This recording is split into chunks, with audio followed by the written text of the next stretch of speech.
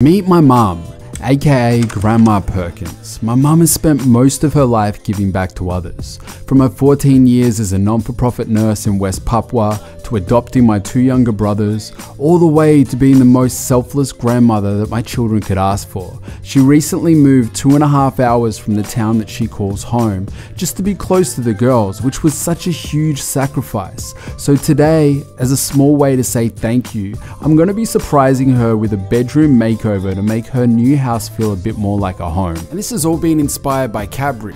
Ta-da! Oh my goodness!